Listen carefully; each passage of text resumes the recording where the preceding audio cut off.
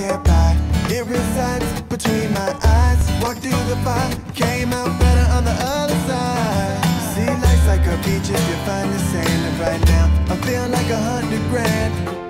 You are listening to Inspired Insider with your host, Dr. Jeremy Weisz.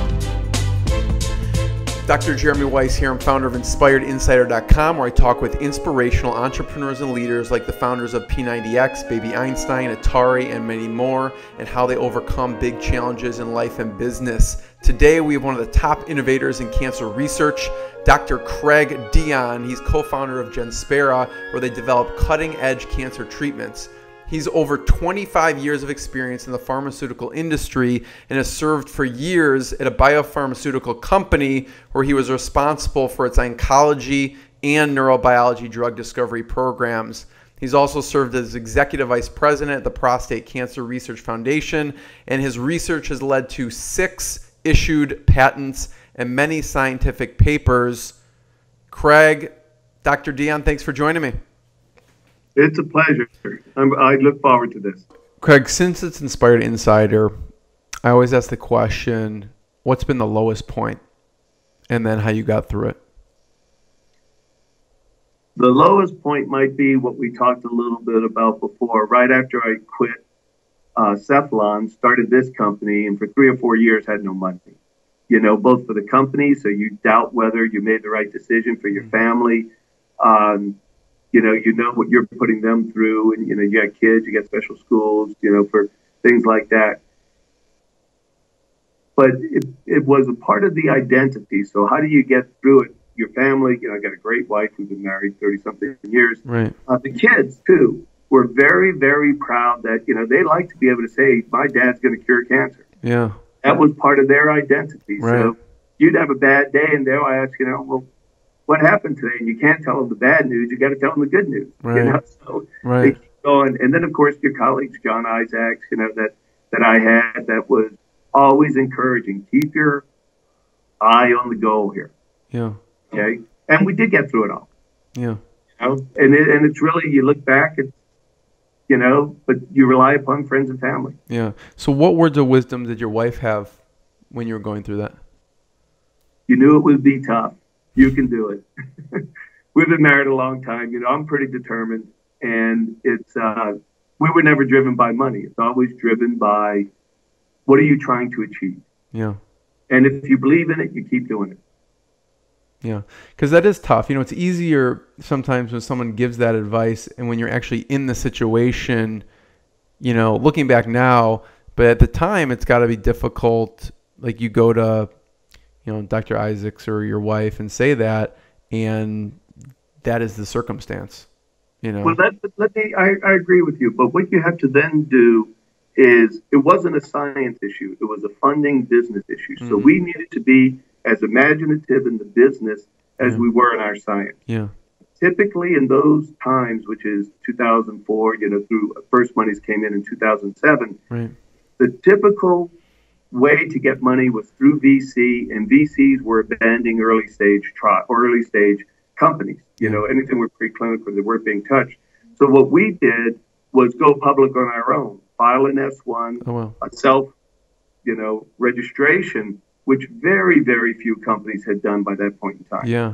Okay, so it was a true, and again, credit the imagination of our corporate counsel, who I brought on board at that time to work through this process. He's been with us since then. He's a great securities counsel. But having that imagination through all aspects of your team, I think is another lesson that you have. Everybody's got to be good. Yeah. What was the most interesting experience going through the becoming a, a public company? Man, you know, I've never done this before. So it's the level of regulation, the expectations of shareholders. It's one thing when you have VCs who are very sophisticated in your business and understand more or less what you're trying to do versus layperson investors who are interested, enthusiastic, but don't really know your business. Right. And accommodating all that. You know, and having to communicate at a level. These are bright people. Yeah. They're just not medicine people. Right. you It's a different language. Yeah. It's a different language, and then really becoming comfortable with speaking in that language. Yeah. So, Craig, on the flip side, what's been one of the proudest moments? I got to tell you, clinical data all the time. I'll point to that. That's when you know you were right. Yeah. You know, you can talk to your investors and you say it may have been more expensive, it may have been taken longer, but Right. your money was well spent. Look what it's going to do for patients, and that that is real. Now we still have a lot of business to do, obviously, but clinical data. You could always say, "I told you so." You know, believe in me. We got there. Right. We're not done yet, but it's now you get turning the crank and doing it aggressively. Yeah. What was the first piece of data that came in that you felt that? That first liver cancer patient who lasted a year was, you know, at, what you learn as you start learning more about particular cancers, no one says eight months in these patients. You know, it never happens. Hmm. And, you know, you go, you, you talk to experts, you say, I don't want to fool myself. Do I believe the data? Right. And they'll say, you know, is this just an outlier? And they say, yeah, you'll get an outlier like that, one in 200, not two out of five. You got to go do the next study. And then when you take it to, we, again, you don't want to drink your own Kool-Aid. We take our data to medical advisory panels, key opinion leaders from around the world and say, Right. what do you think? You know, if you tell us, I don't want to waste time and money. Yeah. And they're constantly encouraging, you have something here, you have to go forward. And that's where you're hearing it. They're not getting anything personal out of this. It's just that we like the mechanism of action. The side effect profile is unbelievable. We think it works. Now we have the data that say we know it works for these patients. Let's just find out what's the best way. Yeah. Craig, this has been hugely valuable, and I've really enjoyed the the deep discussion on this. I have one last question for you, but before I ask it, where can we point people towards? What what should they check out as far as Genspera goes? Go to our website, genspera.com. Um, and if you're Chinese, we have a Chinese version of our website. That's how committed we are to developing this molecule in liver cancer in Asia. Um, so, and that's constantly being updated. You'll see it change over time. And then for clinical trial information, clinicaltrials.gov. That is an extraordinary resource for all patients and their families. Yeah. Yeah. So Genspera is G E N S P E R A, and we'll link it up as well. Dot com. Um, Craig, my last question is what's a day in the life look like for you? What time do you wake up? What um what does it look like to be a public CEO founder? Well, what you know is at the end of your day, you don't know when it's going to end. So, the beginning of the day, you have a little control. Yeah, do you have a routine in the morning? Yeah. 4.30, 5.30 in the morning, somewhere between there, have coffee on the back porch while it's quiet, and usually go for a walk around sunrise because that's when the birds are singing. And then it's to the office or travel, whatever. If I'm on the road, I'm on the road a lot. But you never know when the end of the day is. So your, own, your only routine you have control over is first thing in the morning. What do you spend most of your time on throughout the day, typically? communication. You know, keeping the team together.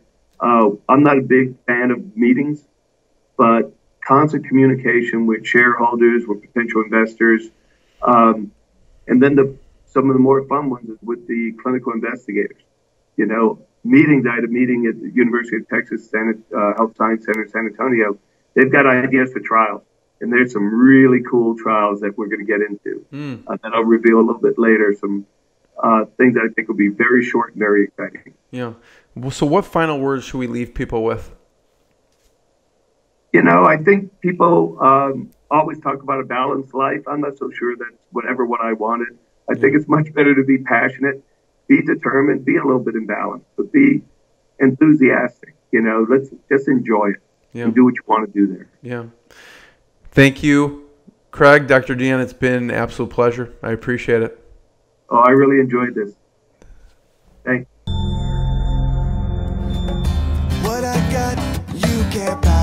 It resides between my eyes. Walked through the fire, came out better on the other side. See, life's like a beach if you find the sand. And right now, I feel like a hundred grand.